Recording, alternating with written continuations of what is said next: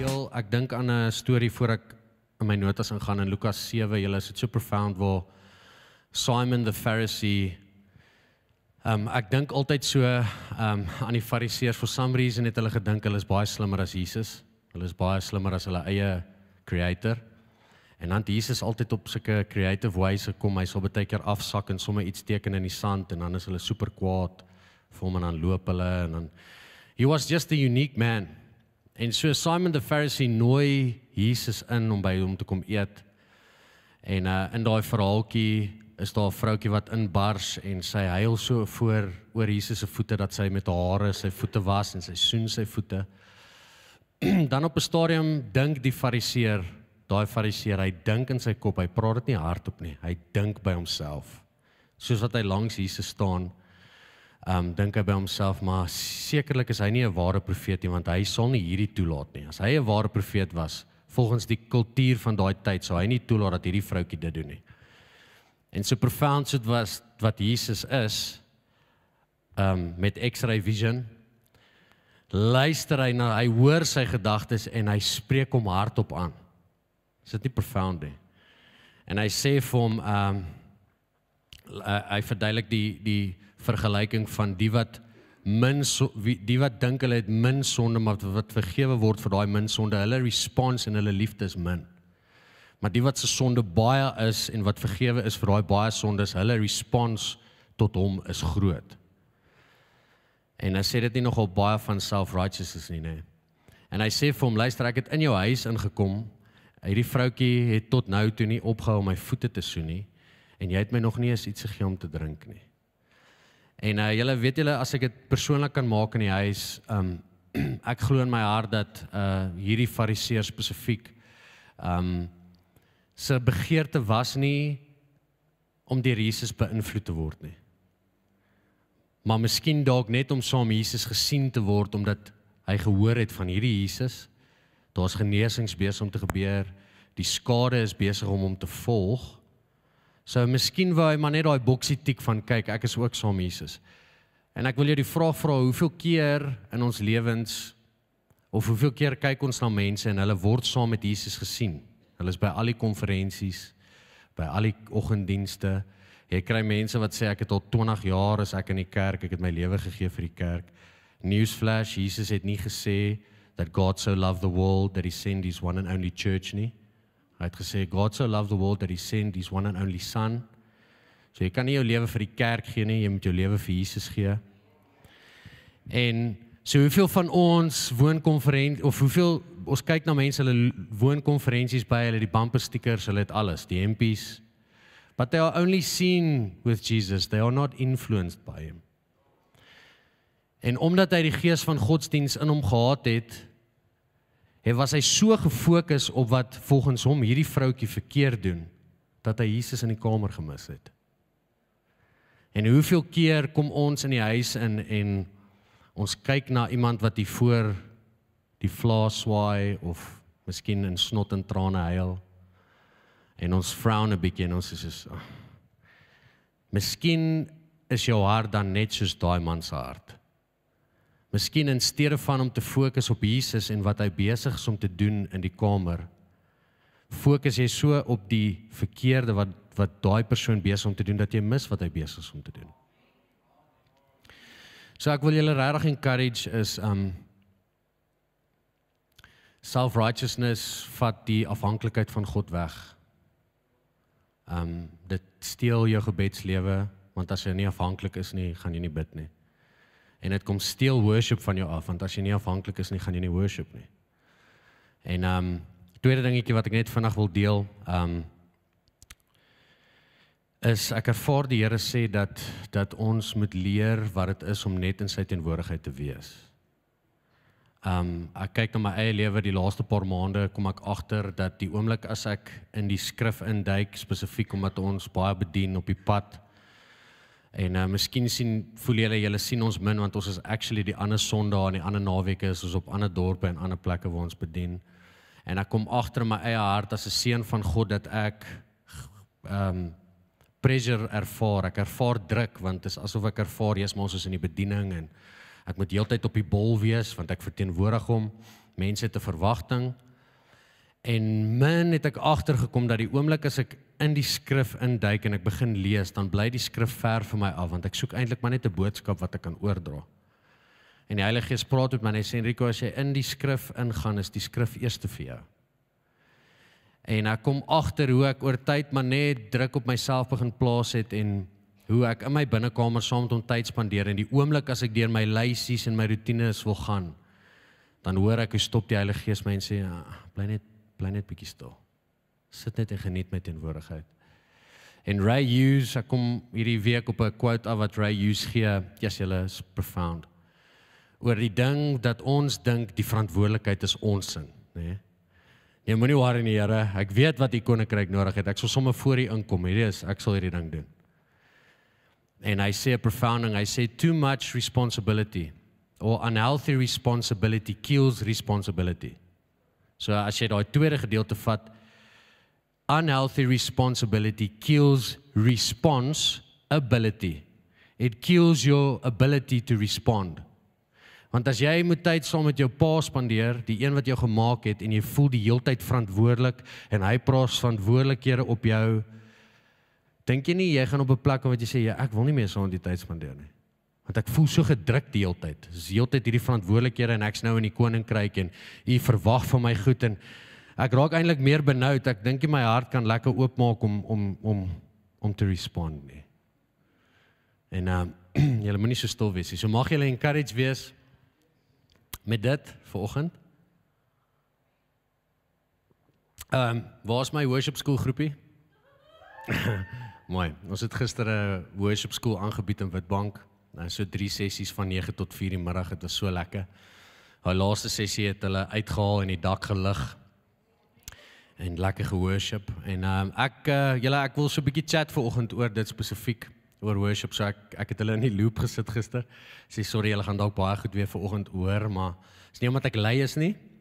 Is omdat ek regtig voel die Here wil iets in ons harte wakker maak vanoggend. So ek wil um eintlik 'n bietjie chat oor wat is worship in essence.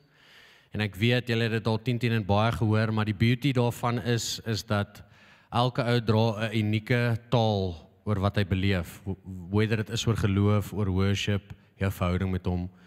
So dis hoekom ons mekaar nodig het en ehm um, ek wil begin met die inleiding. Ek gaan so 'n bietjie chat oor 'n leefstyl van worship en dalk miskien vir julle so 'n bietjie taal gee rondom dit as julle okay met dit. Ek hoop so. Okay. So ek wil net begin met 'n inleiding en vir julle sê ek ervaar regtig in die tyd wat ons leef dat God is besig om die tabernakel van Dawid te herstel. Nou die oomblik as mens dit sê dan gaan dit oor baie ouens se koppe en hulle sien geboue en tentjies en ek weet nie wat alles hulle sien nie but it's it's very profound that wat is besig om te gebeur. Ek wil vir julle sê dat dit is in die DNA van die bruid ingebou en ingeweef dat sy in die donkerste uur van die wêreld gaan opstaan. Dat sy nie oorweldig gaan word deur die donkerte nie. Almal is soos kyk waantoe is alles op pad. Ehm um, maar God het dink jy nie God het geweet nie. Sê asof God sê o ja, ek gaan iets moet doen om my bruid want ek het hierdie nie sien kom nie. Ek is totally verbaas.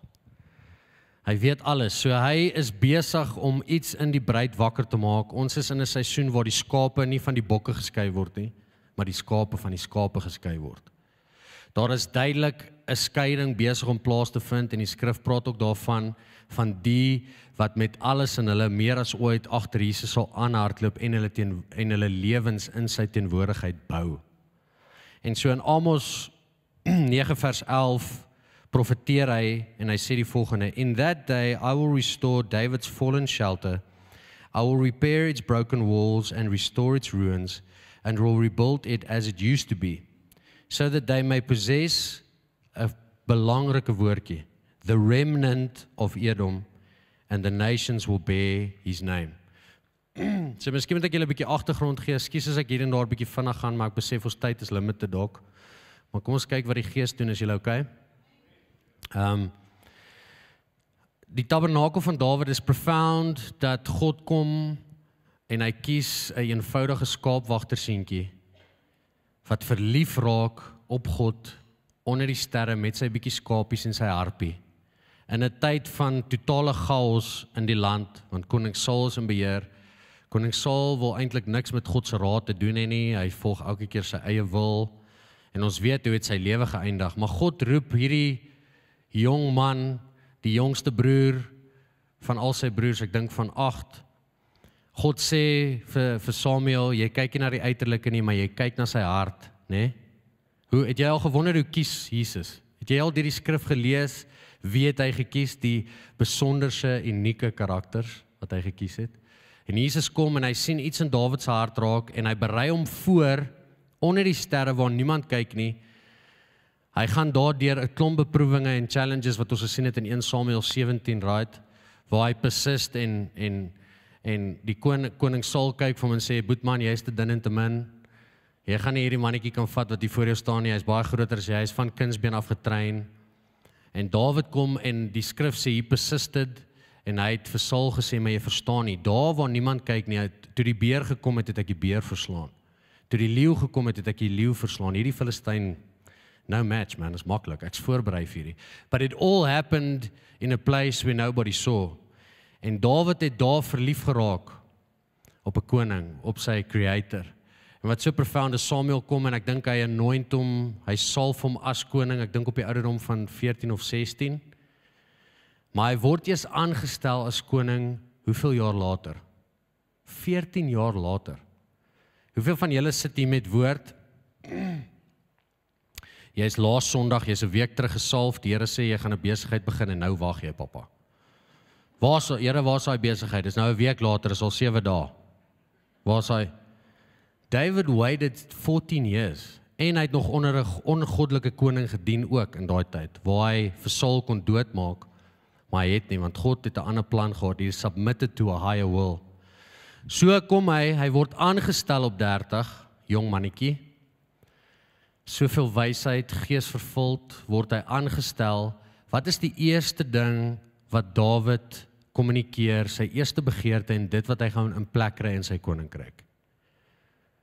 Hy sê vir die manne bou vir my die mooiste kasteel want ek is koning Dawid. Ek het 14 jaar gewag vir hierdie geleentheid. Ek soek die mooiste kasteel dat almal kan sien wie ek is. Is dit wat hy doen? Die eerste ding wat hy aankondig, hy roep almal, sy militêre leiers almal bymekaar. En hy sê vir hulle gaan uit en gaan verkondig die volgende dat ons gaan God se teenwoordigheid terugbring back to its rightful place waar dit hoort want in die dae van Saul was dit nie lyk like, blykbaar nie belangrik geweest nie Maar hoekom doen Dawid dit? Want Dawid het as 'n jong seun, het hy verlief geraak en hy het besef wat God se teenwoordigheid doen. En hy het besef dat hy kan nie sonder dit nie. Klink dit nie bekend nie wat het Moses vir God gesê? As die teenwoordigheid nie saam met ons gaan nie, ons gaan nie die ding doen nie. En Dawid maak hierdie skuif en die eerste ding wat hulle gaan doen is hulle gaan haal die teenwoordigheid van God, the ark of the presence En die eerste keer doen hy dit verkeerd en God slaan vir Uza dood want ek dink hy het per ongeluk geval en toe vat hy aan die ark en God was baie particular oor hoe hy goed wou gehad het. Die teenwoordigheid beland in Obed-Edom se huis, het jy dit al gelees? Die skrif sê dat Obed-Edom se huis was gebless en die ark van God se teenwoordigheid was daar vir 3 maande. En ek kan net by myself dink, soos wat die skrif sê dat sy huis geseën was omdat God se teenwoordigheid daar was dat hy nog vir een oomblik met 'n donkiekar werk toe gegaan en met 'n Ferrari huis toe gekom. Die blomme het begin bloei blo, uh, uitsprei rondom sy huis en sy kinders het Dolce Gabbana begin dra en Lacoste skoene. Mense kon sien hierdie ou's gebless. Ja, nee, dit klink baie prosperity. Ja. Ja, maar die die feit bly staan dat hulle kon sien dat Obed-Edom geseën was. Nou soveel so dat Dawid besef hy ek besef hoe jaloers ek is op God se teenwoordigheid. Ek kyk hoe gebless is hy. Ons moet daai ons moet God se teenwoordigheid skuif back to its rightful place. Die profound ding van Dawid julle is as jy gaan kyk na so ek gee nou net 'n inleiding, is julle okay? According to the genealogy of Aaron en die hoëpriesters wat onder Aaron gekom het wat neergeskryf is in in in 1 Chronicles van 1 Kronieke af is Dawid nie ingesluit as 'n hoëpriester nie.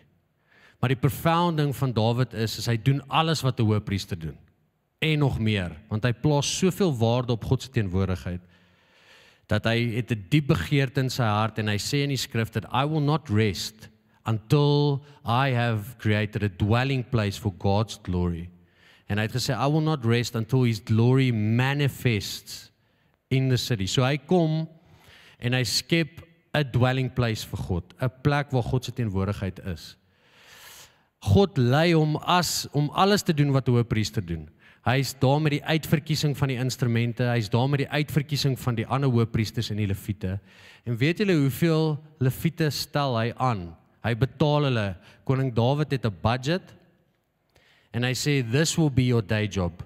God's presence, you will sit in front of his presence and you will minister to him. Weet julle hoeveel? 4000. Wat 'n budget moet jy hê vir 4000? Sê boys, ek betaal julle julle werk is julle sing vir hom. Hy plaas soveel waarde op God se teenwoordigheid dat hy het 'n budget vir 4000 leviete om vir hom te sing. 288 skilled instrument players wat saam met hierdie simfonie God kan aanbid dag en nag, dis wat hulle doen. Laat laat dit jou nie so bietjie klink soos Openbaring 4 en 5 nie. Laat dit jou nie so bietjie dink dat God iets aan Dawid geopenbaar het van as it is in heaven, may it be so on earth. So Dawid kom en almal is invested guys. Sy militêre leiers, die ekonome, die politicians, almal is invested, almal submit onder hom. En hy sê dit is wat God vir my gewys het en dit is wat ons gaan doen. En so hy bou 'n hele ekonomie, 'n hele stad rondom wat en rondom wie? God se teenwoordigheid. Is dit nie profound nie? Laat dit net bietjie insink vir 'n oomblik. Dis maklik om nou te sê ja, 4 dae. Weet jy waarom nou hy het obviously nie voorreg gehad om die tempel te bou nie, maar as jy gaan kyk hoeveel goud het hy eenkant gesit, as jy gaan kyk hoeveel brons en silwer en kosbare cedar wood hy eenkant gesit het vir die bou van die tempel, dan sal jy besef dat hierdie ou het nie games gespeel nie. Dat hy het regtig 'n droom gehad om 'n extravagant place te bou vir God se teenwoordigheid. Sorry as ek so 'n bietjie mengels praat. Lekker mengels. Ja, sorry vir my toeneus. Um um so wat so beautiful is, ek wil net dit sê rondom Dawid. Hy het e, even soos wat hulle in Engels sê, he wore linen, a linen ephod, 'n hoë priestelike linen drag het hy gedra. Even toe die teenwoordigheid van God deur die die stad van Dawid kom het hy mos voor die ark gedans. Onthou julle dit? Weet julle hoekom het hy linen gedra? En een of een of hoekom was dit reël daai tyd as uh, volgens Jesegiel 44 dat die hoëpriesters linne moes dra? Dit staan daar in Jesegiel 44 dat hulle mag nie wol gedra het nie. Hulle mag net linne gedra het hoekom? Want hulle mag nie gesweet het in sy teenwoordigheid nie. So weet julle wat verteenwoordig dit? Dit verteenwoordig striving dat wanneer jy sweet in sy teenwoordigheid, wanneer ons in sy teenwoordigheid kom en ons voel ons moet werk vir iets of ons moet werk vir sy goedkeuring of ons moet dieper indruk want ons dink hy gaan ons meer seën. It's all striving. Dis nie 'n seun van God operate in sy teenwoordigheid nie. So God maak hier reël en hy sê boys, in my teenwoordigheid gaan julle nie sweet nie. Is dit nie mooi nie? So profound. So Dawid kom en hy vestig 'n hele nuwe worship movement, something that Israel and the world has never seen. God se teenwoordigheid is vir die eerste keer ooit in Israel. It's the biggest happening that ever happened during that time. En hy hy vestig 'n nuwe priesterlike worship movement. Maar hier's die profound ding. Dat daar is geprofeteer in in Jesaja 11 dat daar iemand groter na hom sou kom uit die troon van Dawid uit. En wie's dit? Jesus Christus gaan dit gou vir julle lees. Jesaja 11 vanaf vers 1 tot 2. Then a shoot will spring forth from the stock of Jesse and a branch from his roots will bear fruit and the spirit of the Lord will rest on him the spirit of wisdom and understanding the spirit of counsel and strength the spirit of knowledge and of the fear of the Lord. So daar kom een na Dawid en Die een het 'n visie en 'n begeerte groter as Dawid. Jesus kom na Dawid. Jesus kom sterf aan die kruis. Hy kom vul sy kerk met sy gees. En 'n nuwe worship movement sprei reg oor die aarde. A new tabernacle is born, not just the gathering of the saints, maar ek en jy wat 'n tabernakel word, a dwelling place for the Lord to rest in and to abide in and to live in. Is dit nie profound nie? Paulus skryf van ons is hierdie gebroke kleipotjies, maar ons dra die glorie van God in ons. ja, dit is so mooi. So God noem ons, gaan net dit vinnig vir julle sê in Openbaring 1 vers 5 tot 6, noem hy ons konings en priesters. En in 1 Petrus 2 vers 9, he calls us a royal priesthood. So as dan nou as jy jouself 'n guns wil doen, gaan kyk Chris Burns se boek The Priesthood wat gaan oor wat God ons na die kruis en die invulling van die Heilige Gees geroep het om te doen dat God sê ons is nog steeds priesters which means that wherever we go whatever we do wat ook al ons bou in ons lewens we are facilitating God's presence net soos wat Dawid het is mooi né So in Johannes 4 vanaf vers 21 tot 25 is dit so mooi waar waar Jesus die Samaritaanse vroutjie encounter. Ons almal ken dit so goed. En Jesus maak 'n profound verklaring daar um, in vers 23 wat hy vir sê but the hour is coming and now is when the true worshippers will worship the father in spirit and in truth. Dan sit so mooi julle wat dit sê is for the father is seeking such to worship him. Hy soek niks anders te nie. Hy soek net die wat hom in gees en in waarheid aanbid so in Moses se tabernakel offer hulle diere op vir God. In Dawid se tabernakel What are they offering? Praise and worship unto the Lord. In die ou verbond bring hulle diere as 'n offer. So wie word die offer in die nuwe verbond? Okay, behalwe Jesus. What do you become? You become the offering. So as jy nie in dit is nie, dan soek Jesus dit nie. Ons gaan nou net daarby kom.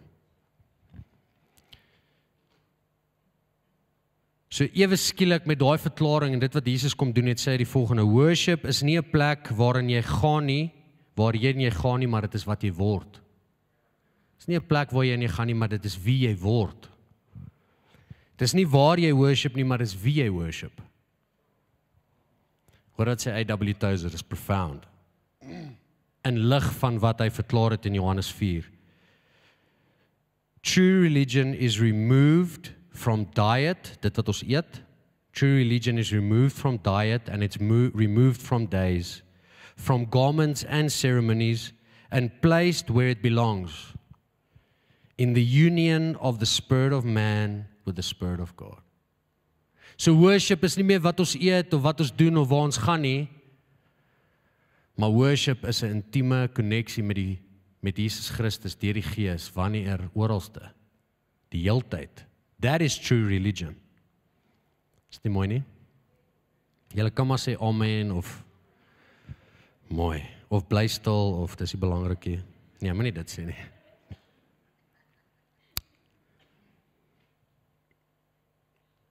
Okay. Johannes 14 vers 25 sê die volgende aangaande die Gees wat in ons woon. All this I okay, so wat eintlik hier gebeur is Jesus sê vir hulle boys, ek gaan na my Vader toe om vir julle plek voor te berei. En dan sê hy daar, ek stuur vir julle 10 geeste. Kies vir julle een. Wanneer jy wil weet om 'n pa te wees, kies gees nommer 1. Wanneer jy wil weet om 'n ma te wees, kies gees nommer 5. Is dit wat hy sê? Hy sê ek stuur vir julle die advocate, die helper, die Heilige Gees wat julle wat sal leer. Alles. Wat beteken alles? Alles. Mooi man. Sjoe, dit was 'n moeilike een. In Johannes 14 vanaf vers 18 dan sê hy die volgende I will not leave you as orphans. So hy sê ek gaan julle nie los as weeskinders nie. So profound in Romeine 8 kom Jesus, uh, ekskuus as ek bietjie vinnig gesê, okay. Ek sien hom ons. Gelukkig word dit opgeneem, nee, ons kan dit kyk na die tyd. Romeine 8 vers 15 tot 17 hoor wat sê dit for you did not receive the spirit of bondage again to fear but you received the spirit of adoption by whom we cry out abba father the spirit himself bears witness with our spirit that we are children of God is dit nie profound nie Die Gees getuig saam met ons gees. Dit maak nie saak wat die vyand teen ons bring nie. Dat die Heilige Gees sê nee nee nee, wag, hy is, sy is 'n kind van God. Dan in Romeine 8 vers 19 net bietjie laer af sê dit die volgende: For the earnest expectation of creation eagerly waits for the revealing of the sons of God. Nou ek wil vir julle sê daar daar is 'n verskil in die klank wat 'n weeskind maak en die klank wat 'n seun maak. Die klank wat 'n seun maak is 'n dinamiese klank. Is it's a sound of confidence in what? In his identity in his father and what his father speaks over him. Hoor julle wat ek sê? So, baie keer kyk ons na mense wat voluit leef en wat besig is om op te staan en gehoorsaam te wees en wat God vir hulle sê om te doen. Dit lyk so dinamies, maar ons label hulle en ons sê, "Jesus, julle is prideful. Julle dink julle is die shiz. Julle weet alles. Julle is Maar ek onthou en ek miskien as ek dit mag sê soos wat dit is, onthou ek toe ek vir die Here vra, "Maar hoe lyk dit? Hoe lyk 'n seun van God? As 'n seun van God in identiteit opstaan en 'n leefstyl van worship leef?" Toe ervaar ek so in my gees en ek gaan dit nou maar sê so sê die Heilige Gees my dit lyk windgat. So baie keer kyk jy na hulle en baie ouens wat preek of goed share of net hulle hardloop net vir die koninkryk. En hulle lyk eintlik vir jou 'n bietjie windgat, nê. Nee. Hulle lyk soos jy's hierdie ouens dink hulle weet alles. Maar ek sal nooit 'n ding vergeet wat Gabriel gesê toe hy hier was. Hy sê die manier hoe jy ja sê vir Jesus gaan gaan die nee in iemand anders openbaar. So miskien kyk jy na hierdie ouens wat ja sê, elke dag ja sê vir Jesus. En miskien is dit vir jou 'n bietjie intimiderend. Want jy was nou al vir 'n paar jaar actually ongehoorsaam. Jy kon ook ja gesê het. God klop elke dag aan jou deur en sê Enrico doen dit en doen dit en jy sê soos ja Here, miskien as ek eendag perfek is, newsflash, dit gaan nooit jy gaan nooit daai dag kry nie. En in waarheid is dit so mooi, ek deel altyd die storie in Matteus 16 in gees en in waarheid. Ehm um, in Matteus 16 oor die waarheid oor Ek weet baie ouens sien Jesus as die een met die geblou hare en die wit ou mou gebleachte kleed. En dit is so, hy het 'n sagte, mooi kant aan hom wat hy jou mooi opsweep en hy gee jou 'n soen op die voorkop en hy hou jou styf vas. Maar ek sien Jesus as hierdie rugged Joodse man wat glo dit of nie grappies saam met die disippels gemaak het. Nee, maar hy rekos mag nie lag nie. Ons kan dans, ons moet dit net nie geniet nie.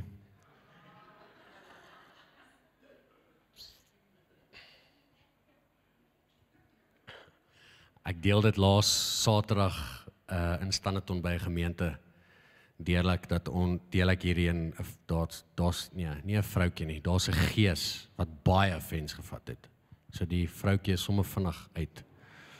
so ek weet nie sy lag dalk nie saam met Jesus nie, maar. So Hebreërs 1 praat van that he is anointed with the oil of gladness more than his companions. Die skrif praat van that we are seated in Christ in heavenly places. So we are anointed with that oil of gladness. So jy mag maar lag. Okay, maar anyway, terug by die storie. So hy is besig om 'n snoekie saam met disippels te braai. Hulle vertel 'n paar grappies. Moses wat probeer vis vang en die water bly oopgaan. Daai tipe grappies. en ja, ek weet nie wat se grappies hulle vertel het nie. Ehm um, Anyway. En uh Oh, yes. Hulle noem my Ricky Random. so is okay. En uh, ek ek hoor hoe Jesus met die disippels praat en sê boys daar waar ons beweeg wil ek net graag by julle hoor wat wie sê hulle is ek? En hulle sê is Johannes die doper hierdie profeet da da da. En die atmosfeer raak so 'n bietjie ernstig en hy sê boys alle grappies op 'n stokkie nou. En hy kyk reguit vir hulle en sê okay maar wie sê julle is ek? Nê nee? het jy het jy al deur jou gees in jou gees daai vraag ervaar? Ek het al 'n paar keer en dan dink ek baie keer die Here dink ek ken hom nie of ek het gebackslide of ek het iewers sonde waarvan ek nie weet nie. Maar ek ervaar, ek het in my lewe ervaar dat as Jesus my daai vraag vra, dan wil hy hê ek moet met conviction in my hart kan antwoord, maar dit is wie my God is. Want as die storms van die lewe kom en die storms van die lewe vra vir jou, maar wie is jou God? Of die Goliats kom en die Goliat sê, maar wie is hierdie God wat jy so van praat? Dan kan jy nie daar staan en in en aan nie. Jy moet jou slingervelletjie optel En jy moet vir hom sê, maar dit is wie my God is.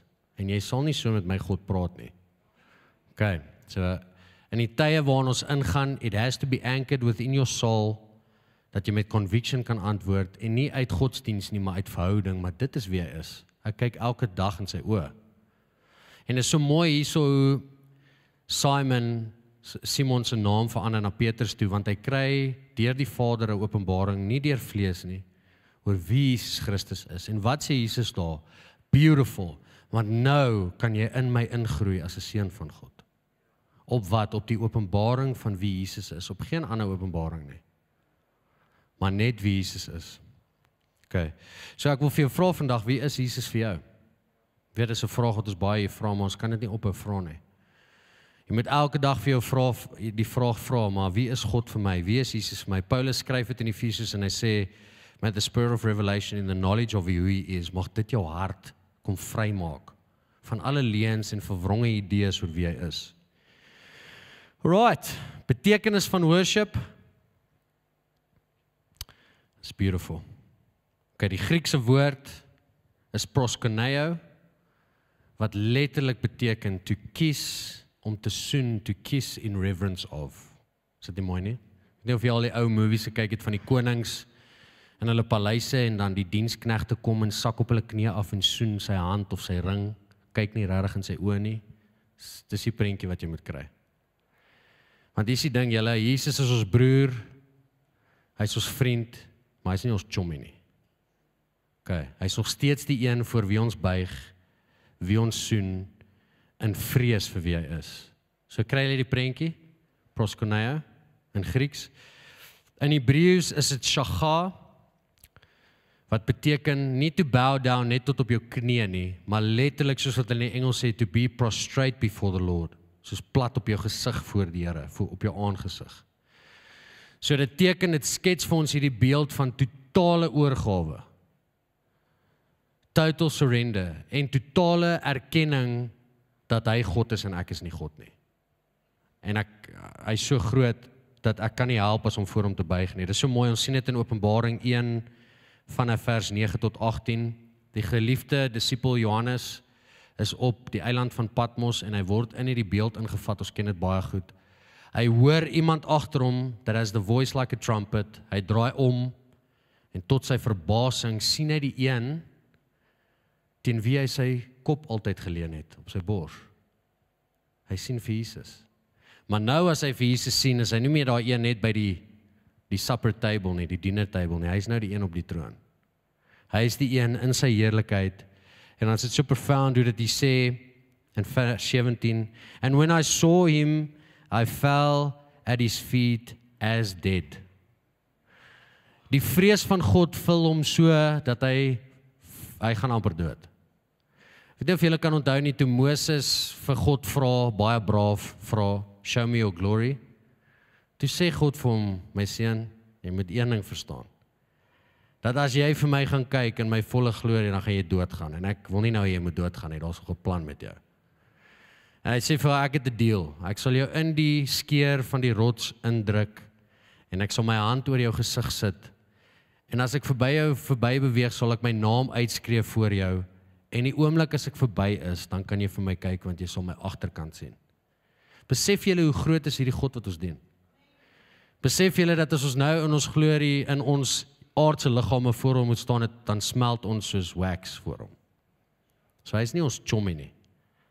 So as jy moet kyk na jou eie lewe, okay Enrico, maar moet ek nou elke dag op my gesig lê? Ek moet my kinders moet skool toe gaan, ek moet werk, ek moet 'n salaris verdien elke maand. Ek kan nie heeldag op my gesig lê nie. Dis nie wat hierdie sê nie hierdie praat van die postuur van jou hart en die feit dat jy die offer word en nie meer net 5 songs op 'n Sondag kom offer vir jou week en maandag tot woensdag lyk dit anders te nie. Dis mooi nee.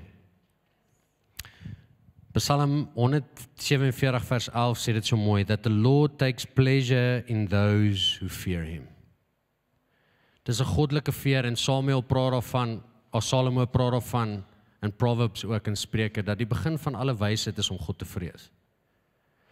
So ek wil vir julle sê ek is super excited want eintlik van 2020 af sien ek die tekens van herlewing hoe Henrico almal se bene groei uit. Almal begin sien, nee.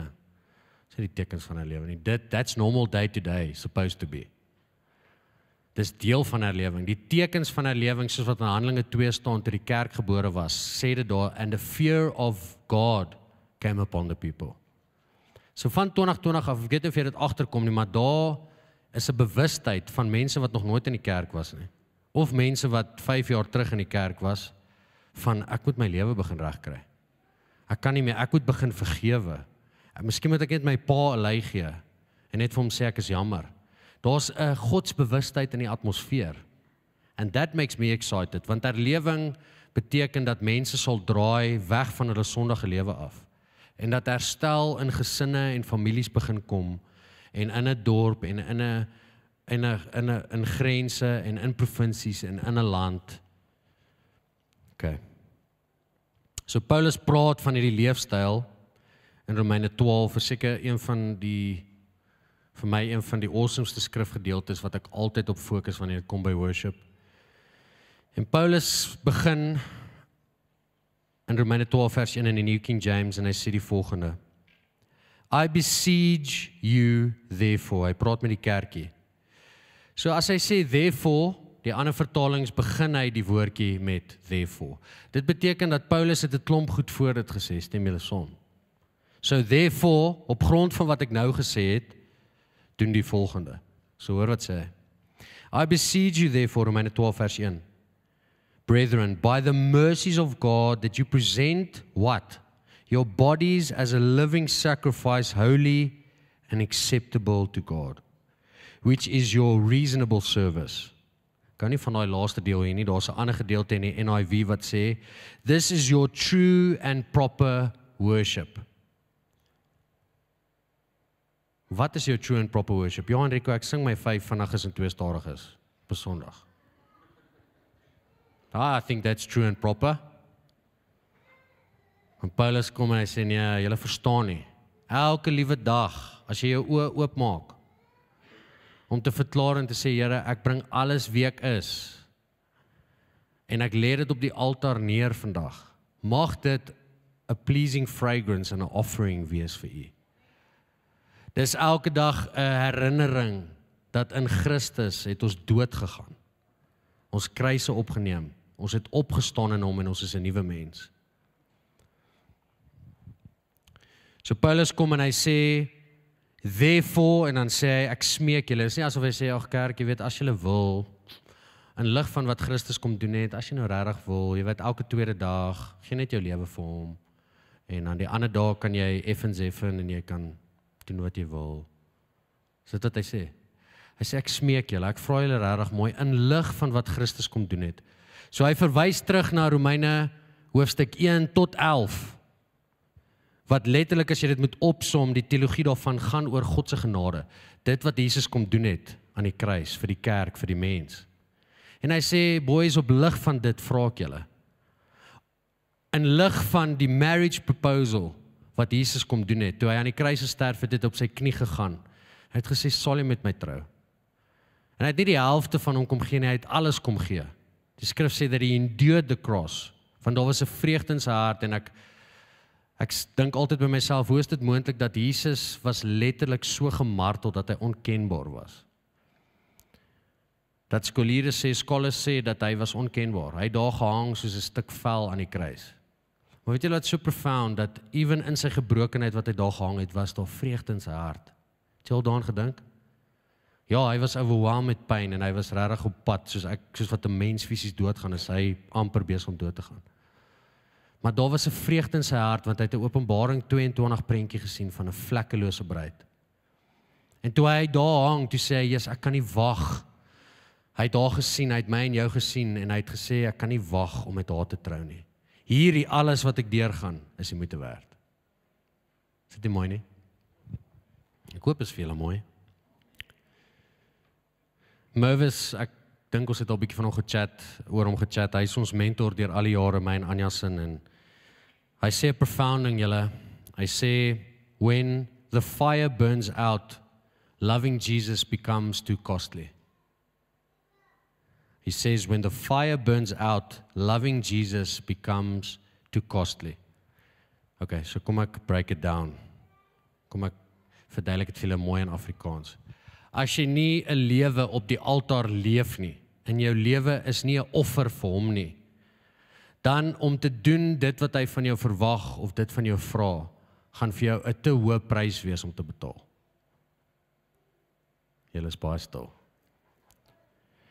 So if you don't live a life on the altar, loving Jesus will become too costly. Weet julle hoekom? Want om hom lief te hê beteken daar's sekere goed wat hy verwag van jou as 'n kind van God. As sy bruid sê hy luister, ek het gesterf vir 'n sekere standaard. En as jy sê jy is my bruid en jy's lief vir my, dan is dan moet jy op 'n sekere manier leef, right?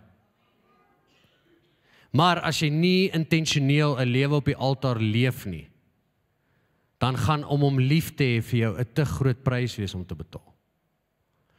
Want ek wil jou self, ek wil jou die vraag vra soos ek my die vraag vra, is hoekom doen ek vir hom wat ek doen? Is dit want hy het 'n hele boekie vol met lysies en punte en hy en verwagtinge en commands en hy sê hierso, hou by hierdie Enrico, hou by hierdie. Of doen ek dit want ek is lief vir hom? Is is it because it's a bunch of commands or is it because I love him? So kom ek vertel vir julle getuienis. Ruk terug gesels ek met 'n ou wat baie swaar gaan in sy huwelik. Hulle is nou omtrent eers 2 jaar getroud. Hulle is ongelukkig toe geskei eventually. Maar hulle is nog jonk getroud. Hulle hulle was jonk getroud, hulle was jonk en is nog jonk. En ek chat met hom en ek vra vir hom een vraag terwyl ons in die kar ry. Ek sê, "Dude, maar het jy haar lief? Het jy jou vrou lief?" En weet julle wat hy kon my nie antwoord nie. Want hy sit in daai toestand van sy hart sit hy op 'n plek wat hy nog soveel drome het. Sy eie drome. Wil nog die wêreld sien. Ag, klomp besigheidsdrome en hy voel dat hierdie huwelik ding is 'n anker aan sy voete. Hy gaan nooit sy drome haal nie. He's these fleshly personal dreams en en hy kon my nie antwoord nie. Maar weet julle, hier's die ding en ek sê vir hom die volgende. Ek gebruik my huwelik as 'n voorbeeld. Ek sê vir hom, "Buddy, maar as ek sê ek is lief vir Anja en ek verklaar dat ek my lewe nie sonder haar kan insien nie. As gevolg van die feit dat liefde betrokke is, is dit maklik vir my om ander opofferings te maak, né? Nee? Dis maklik vir my om my vleeslike begeertes en my drome en my alleen goed eenkant te sit en te sê, "Oké, okay, maar weet jy wat? Ek het jou so lief, ek kan nie sonder jou nie." So ek het ek ek sal met liefde om jou in my lewe te hou en omdat ek lief is vir jou, sal ek met liefde hierdie drome prysgee. Kom ons bou aan nuwe drome. Kom ons kom ons kyk wat kan ons saam doen. Maar as liefde as jy nie vandag in jou hart diep in jou hart kan sê Jesus ek het U lief nie en liefde ontbreek dan gaan Jesus altyd vir jou 'n vyand wees. Hy sal altyd die een wees in jou oë en in jou hart wat jou terughou. Maar die ding is Jesus het ons juis kom red van onsself nê, nee, toe hy aan die kruis gesterf het. Hy het gesê, luister, jy dink om jouself te fix en om vir jouself te lewe is great, maar wag tot jy vir my leef. It's a next level. Dis iets wat jy nog nie beleef het nie. Dis nie net lewe nie, maar dis lewe in oorvloed. OK. Johannes 14 vers 15 sê, if you love me, keep my commandments. As jy my liefhet, hou dan by wat ek van jou verwag. Romeine 12 vers 2 net daarna waar Jesus of waar Paulus vir hulle skryf ek smeek julle gee julle lewens as 'n lewendige offer dan sê hy and do not conform to the things and the patterns and the cultures of this world. So wat gebeur as jy nie 'n lewe op die altaar leef nie? Jy gaan soos die wêreld begin lyk. En wanneer die kerk soos die wêreld begin lyk, het ons 'n probleem.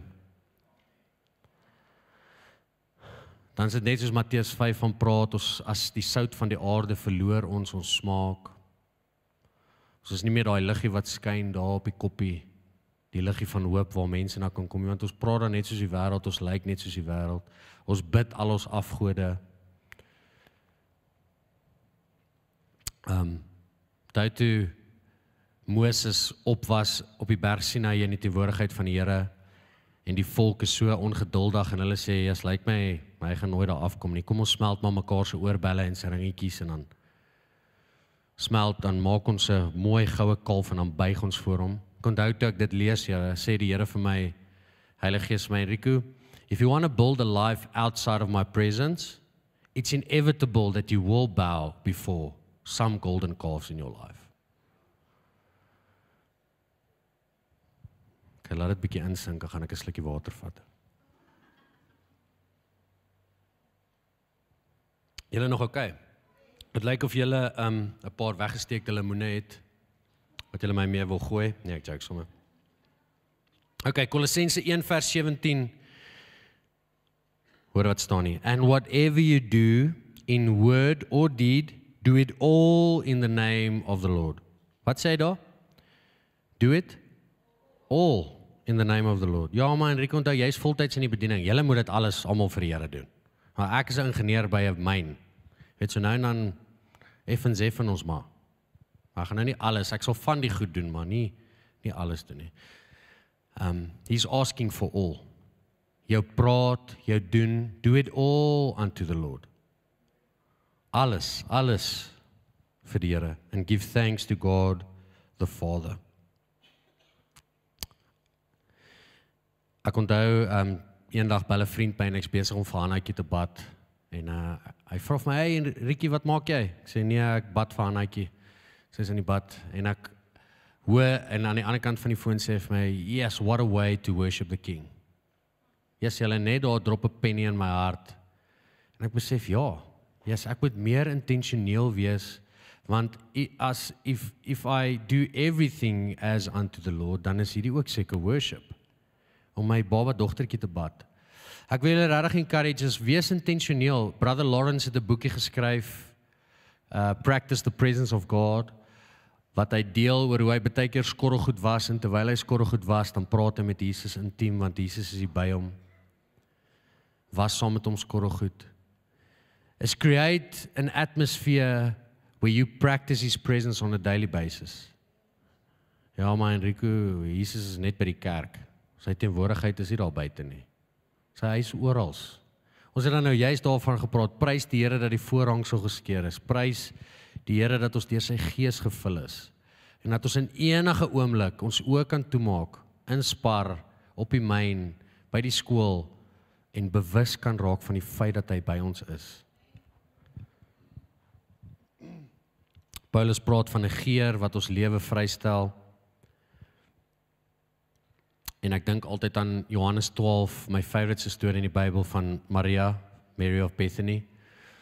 En hulle sê gooi hierdie costly perfume oor Jesus se voete uit.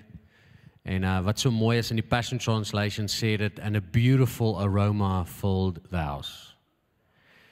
En dit sê daar dat ses dae voor sy burial het sy hom eintlik anoint met daai oil En ek dink by myself, ons kan nie altyd die Bybel net oppervlakkig lees nie, julle. Daar's soveel, God het ons 'n imagination gegee om diep in stories in te delf. En ek besef toe ek hierdie lees dat sekerlik het Jesus 6 dae later elke dag nog geryk na daai parfuum wat sy oor hom uitgegooi het. Is dit nie mooi nie? 'n Teken van Maria se devotion tot Jesus. Dit is sê vat alles Jy weet sy gooi haar alles oor hom uit asof dit niks is so nie.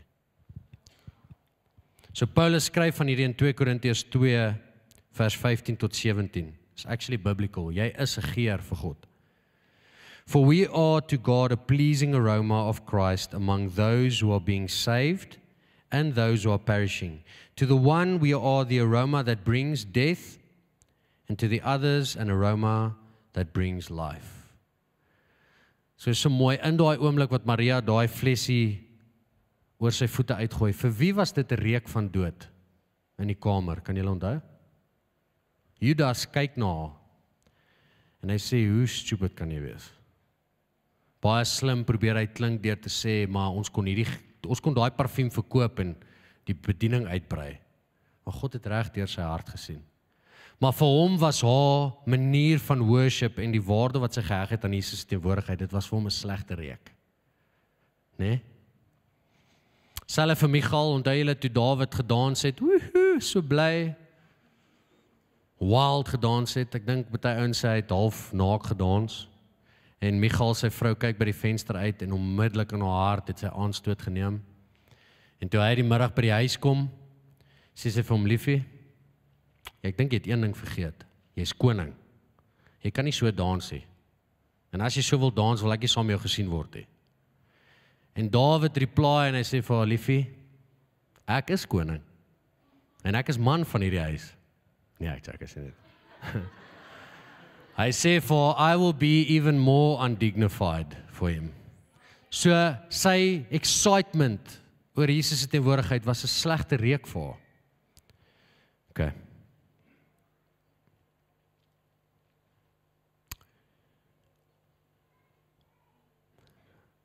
Jou lewe en die manier hoe jy om worship deur jou leefstyl moet in ander mense se harte worship wakker maak.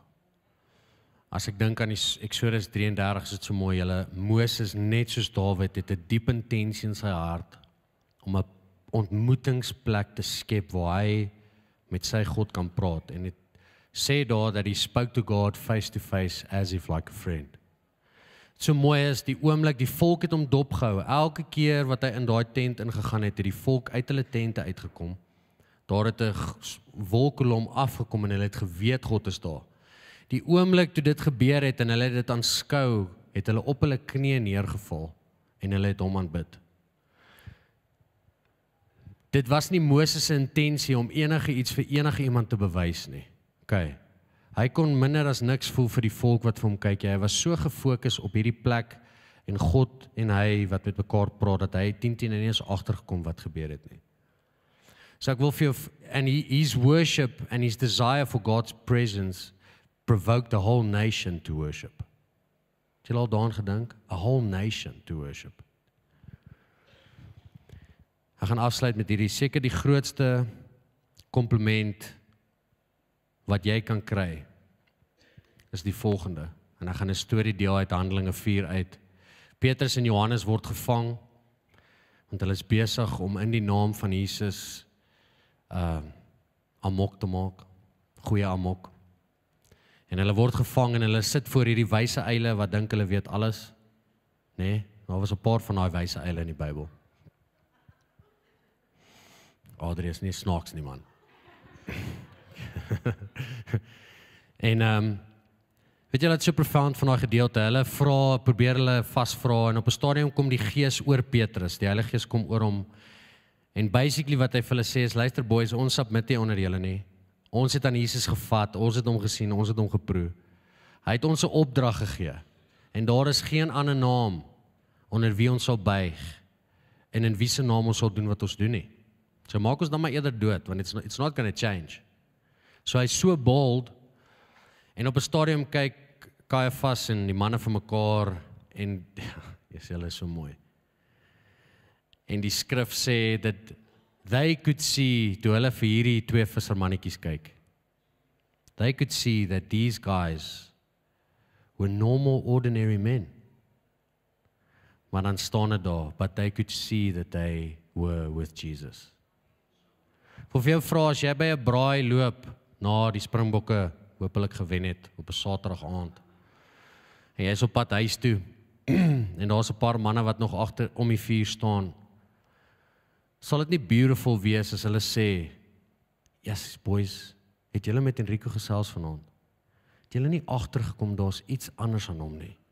Het julle nie agtergekom as julle in sy oë gekyk het of het julle nie agtergekom hy wil nie net heeltyd oor visvang en geld praat nie?" Hy wil oor die dieper dinge praat van die lewe. Weet julle nie? En dan sal hulle sê, "Maar ja, ons kan ons kan sien hy loop saam met Jesus op pad." Sal dit nie die grootste kompliment wees nie? Hæ? Ehm um, Dis die mees aanneemlikste worship form. Ek sal vinnig raak aan iets. In Matteus 15 het Jesus weer 'n altercation met die wyse eile. En op 'n stadium sê hy vir hulle: "Jesus, julle is hypocrites." Is dit nie soos wat Jesaja geprofeteer het hier dat julle lippe kom nader, maar julle harte bly ver van my af? Né? Nee? En dan is dit so mooi, die disippels sê vir hom: "Rabbi, het jy gesien hoe kom die stoom uit daai manne se ore uit? Hulle is nou lekker kwaad." En dan sê Jesus vir hulle: "Los, laat die blindes die blindes lei." Dan sê hy vir hulle: "Dit wat my pa nie plant nie, dit wat my vader nie plant nie, sal hy uitdruk." Hy sê hy kom voor hierdie fariseërs wat so hoog heilig hulle tossokkies dra. En wanneer hulle nagmaal gebruik, dan doen hulle dit op so 'n manier. En wanneer hulle bid, dan verander hulle stemtoon somme. Het julle dit al gehoor? Hulle lyk, hulle skets hierdie uiterlike prentjie. Hulle lyk so hoogheilig en almal wat met hulle te doen het sê, "Yes, julle moet naby God leef want kyk net hoe, kyk al, oef, kyk al julle goedjies." En Jesus met sy X-ray vision kom. En hy kyk vir hulle en hy sê, "Boys, julle gaan my nie bluf nie. Hierdie worship, hierdie leefstyl wat julle hierso leef, dan sê hy daar vir hulle, "It's all in vain." beteken niks. As ek jou leefstyl op die altaar moet sit en ek moet my vuur op dit bring, wat gaan daar agterbly? En dan sê hy alles wat julle hier bou met julle fake leefstyl, gaan my Vader net kom uitdruk want dit dra geen gewig nie en dit gaan geen impak maak nie. Ek voel regtig in my hart nie 'n challenge nie, nie 'n rebuking nie, nie 'n condemn nation nie. Ek voel 'n uitnodiging van die Here af. Net soos wat Paulus in sy hart gevoel het, geliefdes, ek smeek julle. In lig van wat Christus kom doen het aan die kruis. Kan ons respond because the cross demands a response.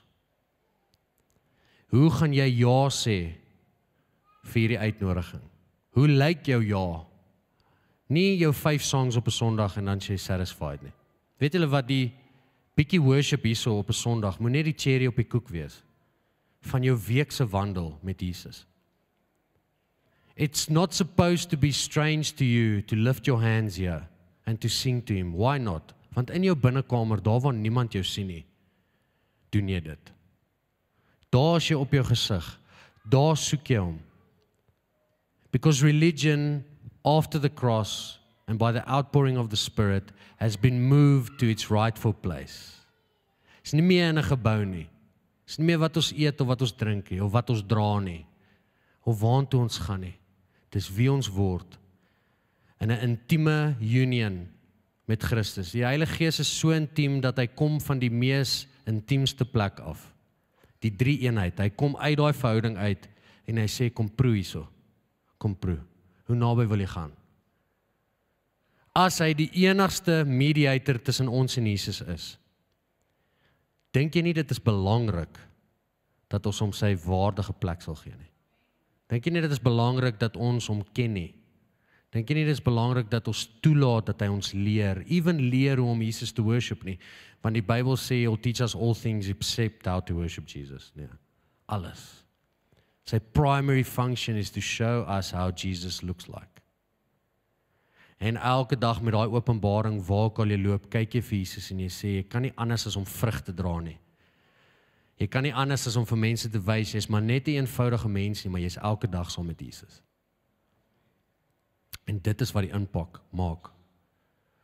So ek wil vir jou vra in die manier hoe jy leef, ons het dit nou-nou actually geluister en ek het dit doelbewus so gevra. Casting Crowns het 'n song wat hulle sing, Let My Life Song Sing to You. Ek wil vir jou vra as jou lewe dan 'n lied is vir hom, hoe klink jou hoe klink jou lied vir hom? Is dit 'n geur van dood of is dit 'n geur van lewe? As jy na jou kindertjies by die huis kyk, hoe lewe jy? Hoe worship jy Jesus deur die manier hoe jy hulle hanteer? Hoe worship jy Jesus deur die manier hoe jy jou vrou of jou man hanteer? Hoe worship jy Jesus deur die manier wat jy jou finansies hanteer? Of jou werkgewers hanteer? ag ja, ja, werknemers hanteer, die ouens wat vir jou werk. It's all about a lifestyle. Mag mense na ons lewens kyk en verlief raak op wie hy is. Mag die manier wat ons leef my exalt him want soos die skrif sê men will be drawn to that place. Hoe meer jy ja sê vir hom ongelukkig hoe meer gaan jy die nee in iemand anders openbaar. Maar hulle gaan na jou kyk en dit gaan hulle inspire en sê wow. Ek wil 'n ma wees soos sy. Ek wil 'n pa wees soos hy. Ja, as ek eendag my eie besigheid het, wil ek hom ran soos wat daai oude doen, want ek kan sien in alles wat hy doen vir heerlikheid die Here. So worship is nie net vyf vinniges en twee stadiges nie. Of twee ure se soaking op drie chords nie. It's much more than that. Please don't limit it to that. Jy kan. Jy kan, maar as jy die belangrikste persoon op die aarde kon ontmoet, nê? Nee, En die oorspronklike reëls was dat jy moet deur al sy booms ry. Hy het 500 security guards om sy gebou. Hy het 3 PA's, jy moet met almal 'n afspraak maak voor jy by hom kan uitkom. En ewe skielik kry jy die nuus, "Raai wat? Die 500 security guards is weg, al die booms is weg, sy 3 PA's is weg. Jy kan net in sy kantoor instap en jy kan met die belangrikste ou op die planeet praat." Sal jy gaan? Hy's die belangrikste ou. Maar raai wat, daar's nog steeds mense. Al die security guards is weg. Al die booms is weg. Al die PA's is weg. Sy deur is oop, maar daar's nog steeds mense wat nie gaan nie. We have free access